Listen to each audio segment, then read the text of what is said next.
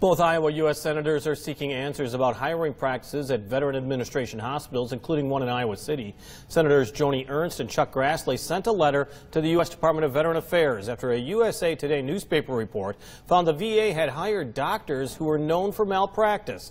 The report specifically names the VA hospital in Iowa City.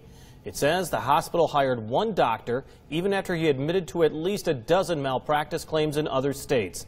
Both senators have asked the VA what actions it will take to determine if other doctors were hired illegally.